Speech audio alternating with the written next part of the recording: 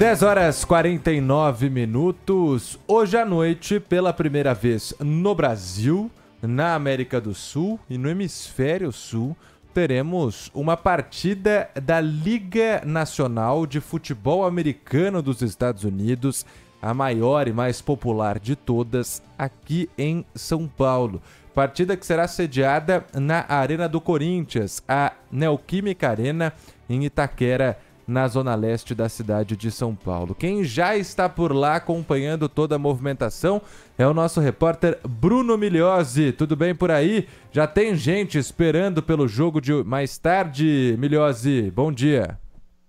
Fala Lupato, tudo bem? Bom dia. Abraço para você, para o amigo ligado aqui na Rádio Bandeirantes durante o Manhã Bandeirantes. Olha, torcedor aí esperando, ainda não, até porque a região aqui você sabe, não é daquelas mais favoráveis para aguardar um jogo, né? Não tem tanta infraestrutura na região, então o pessoal vai chegar mais em cima mesmo. Quem está por aqui, você já consegue ver também ao fundo com imagens no YouTube da Rádio Bandeirantes, é o pessoal que vai trabalhar diversos setores, né? Vários serviços serão prestados hoje, desde limpeza, segurança e também outras áreas, porque a infraestrutura inteira da Neoquímica Arena será ocupada por esse grande evento. O PDV trouxe há pouco no Jornal Gente que mais de 5 mil, 5 mil empregos foram gerados por esse evento em São Paulo, então realmente a expectativa é muito alta também para recepcionar um público muito alto, né, Lupato? Como você destacou, por ser um evento inédito pela primeira vez no Hemisfério Sul, não só brasileiros, como também gente do mundo inteiro veio ao Brasil atrás desse evento na Neoquímica Arena. Por isso, os ingressos, 42 mil ingressos, foram vendidos em cerca de 15 minutos na abertura das vendas online. E hoje, expectativa de mais de 46 mil presentes. Trouxe também informação PDV de cerca de 7 mil norte-americanos que migraram para o Brasil, o maior movimento da história entre os Estados Unidos e o Brasil. Então, de fato, movimentação muito grande, um jogo do futebol americano, que é um esporte não tão conhecido aqui ainda. É claro que cresce em interesse e audiência, mas não é tão praticado, ainda de forma amadora, é o que a gente tem no Brasil, mas ainda assim atrai muito interesse, muito público e, claro, muita gente trabalhando também, é o que está acontecendo por enquanto aqui na Neoquímica Arena.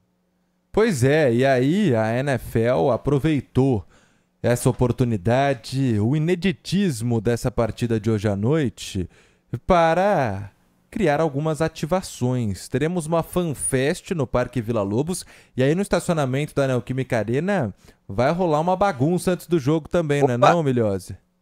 Vai sim, tem o tradicional churrasco norte-americano, né? Que os caras sempre fazem antes do jo dos jogos da NFL lá nos Estados Unidos, vai ter aqui também. Não só isso, viu, Lupato? Todo o estacionamento, hoje vale destacar até para o ouvinte que é, já tem seu ingresso, pensa em chegar à Neoquímica Arena, os estacionamentos estão todos ocupados com infraestrutura, ativações especiais promovidas pela NFL. Uma delas é esse churrasco especial que vai dar esse esquenta na galera, como também tem uma loja oficial aqui bem grande para atender todo esse público que tem interesse na Liga de Futebol Americano, que é uma das ligas que mais gera receita no mundo, né? E o Brasil é o terceiro país com mais interesse no mundo em termos de audiência. Então, realmente justificável esse investimento. E até já passando o serviço, viu, Lupato? Eu acabei falando do estacionamento. A ideia é vir de metrô, viu, gente? Priorizem o metrô, porque não só o metrô, como também a CPTM, as duas linhas, né? A 11 CPTM Coral e também a linha 3 vermelha do metrô, que chega aqui em Itaquera, as duas estão com operação especial de 24 horas, então você consegue chegar e ir embora com tranquilidade. E vale destacar também que existe um planejamento Caso você vá ficar na área leste, você tem que vir pela linha 3 de metrô. Caso você vai ficar na área oeste do estádio da Neoquímica Arena, tem que vir pela linha 11. Então, toda uma infraestrutura montada e o caminho também, todo planejado. A NFL sabe montar um evento, né? Isso a gente está vendo de forma bem clara como tem as ativações ao longo de toda a trajetória. Um dia especial, né? Um game day, como eles dizem nos Estados Unidos, aqui em São Paulo pela primeira vez. É um Friday Night Football hoje à noite Isso. aqui na cidade de São Paulo que é o futebol americano da sexta-noite, como eles dizem em inglês. Você falava, Tem seleção brasileira no mesmo dia. Né? Tem seleção brasileira, daqui a pouquinho a gente vai para Curitiba, onde acontece essa partida. E o Miliose falava sobre a popularidade do futebol americano aqui no Brasil. Essa popularidade está realmente crescendo. A gente consegue observar em dados é, obtidos pela sala digital Band Google de que nós estamos vivendo em 2024 o pico de buscas pela NFL, que é a talvez única liga popular de futebol americano no planeta. E é um gráfico que mostra um aumento desde 2004 sequencial. Ele vem aumentando, aumentando a cada ano. nós tivemos já em 2023 um número muito alto de buscas e agora o pico em 2024 com essa partida. Para que time que você vai torcer hoje, hein, Bruno Migliozzi? Green Bay Packers ou Philadelphia Eagles? Olha, Lupato, eu não vou dizer nada, só vou puxar aqui o meu bonezinho especial para essa ocasião, porque estarei com os Green Bay Packers, viu? que, aliás, lá são o time mais popular do Brasil, viu? A gente tem essa pesquisa de interesse. O time mais popular é o Green Bay Packers, que tem quatro títulos do Super Bowl, um time muito tradicional, que hoje encara o Philadelphia Eagles, falando um pouquinho mais dessa partida, que tem o um sucesso mais recente, foi campeão em 2018, tem o Jalen Hurts, um grande quarterback, e esses dois times vão se enfrentar com favoritismo para os Eagles, mas eu acredito no Green Bay Packers, que lembra muito o escudo do Goiás. Aliás, uma curiosidade, viu, Lupato, sobre os Packers, é o único time da NFL que não pertence aí a um grupo privado, né? Não é uma, um clube empresa, a gente pode dizer assim, porque pertence a uma entidade sem fins lucrativos, algo mais próximo dos clubes de futebol aqui do Brasil. Então, quem tiver interessado para conhecer mais sobre o Green Bay Packers, eu já trouxe aqui minha, meu traje para acompanhar a partida de hoje logo mais às 9h15 da noite. Pois é, e das pesquisas feitas pelos nomes dos dois clubes que vão jogar aqui na Neoquímica Arena, 52% procuram pelo Green Bay Packers e 48% pelo Philadelphia Eagles. Agora, Milhose, é um esporte que eu e o Sabino, por exemplo, não entendemos absolutamente nada. Eu assisto lá o Super Bowl, que é a final, que tem um show no intervalo, e olhe lá todas as temporadas. Então, explica um pouco melhor pra gente, até baseado nessas perguntas que são feitas ao Google, que responde todas elas. A gente tem aqui um ranking das perguntas que mais foram feitas pelos brasileiros. Quantas rodadas tem essa liga de futebol norte-americana aí?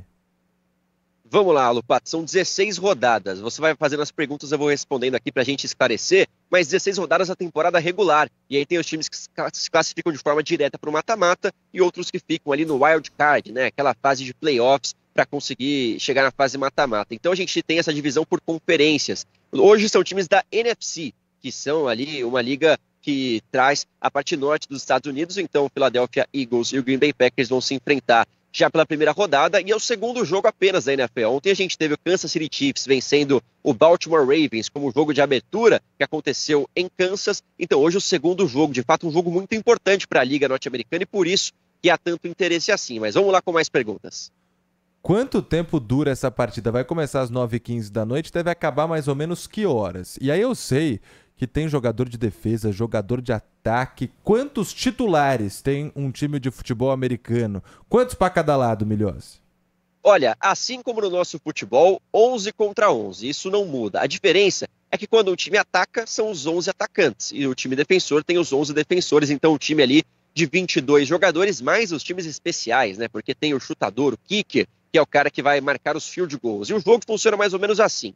São quatro tempos de 15 minutos, mas demora bastante porque tem muita pausa. Cada jogada a gente vai ter as pausas para você combinar as jogadas e tudo mais. Então o jogo vai para lá de meia-noite, com certeza, aqui na Neoquímica Arena. Mas só para explicar direitinho: quatro tempos de 15 minutos, um jogo de conquista de território. Quando você consegue carregar a bola ou lançar a bola para um membro do seu time que está na end zone, que é a linha final do gramado, no território adversário, mais seis pontos, você pode chutar para mais um ponto extra, então totalizando sete. Esse é o tal do touchdown, que é o grande pontuação do futebol americano. Se você não quiser fazer o touchdown, você pode chutar a bola um pouco mais de longe e acertar também o Y, né, a trave que fica é, em cima ali no centro do gramado, e aí você tem mais três pontos. Com isso, você totaliza as duas principais pontuações do futebol americano, e nesse período aí de quatro tempos de 15 minutos, a bola vai alternando entre ataque e defesa, ataque e defesa. A ideia da defesa é recuperar a bola, enquanto os atacantes têm sempre que cumprir, enquanto não chegam na área de fazer o touchdown, tem que passar 10 jardas, cerca de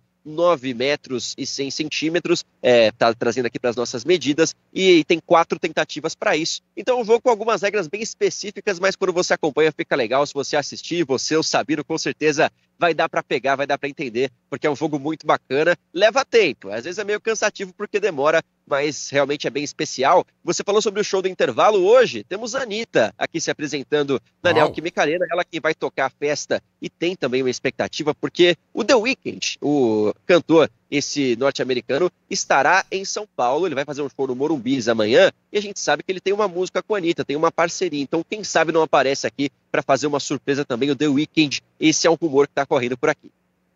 É isso, Bruno Milhões acompanhando todos os detalhes desse mega evento pela primeira vez na cidade de São Paulo, no Brasil, uma partida de futebol americano da NFL. Um abraço, Milhões, obrigado. Milhões, só uma última dúvida. Significa que o intervalo é maior para dar tempo do show da Anitta ou não?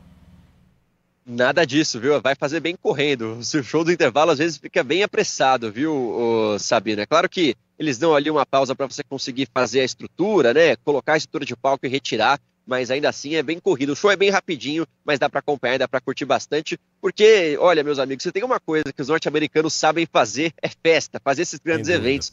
A gente vai ter uma prova disso. Obrigado, Milhose, que já tá com o bonezinho, torcedor do Green Bay Packers, um dos times que disputa essa partida hoje à noite. Valeu! Um abraço, meus amigos. Obrigado. Você viu que a gente pode